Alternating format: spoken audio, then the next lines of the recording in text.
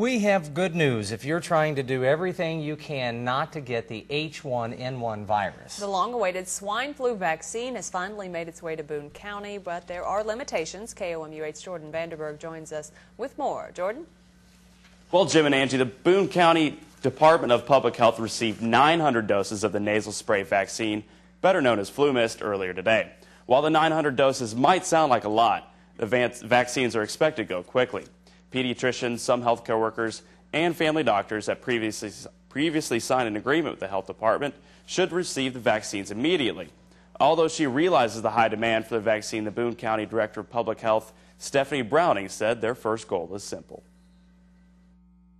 Our initial push is going to be to get those out to those providers willing to get it to their high-risk patients.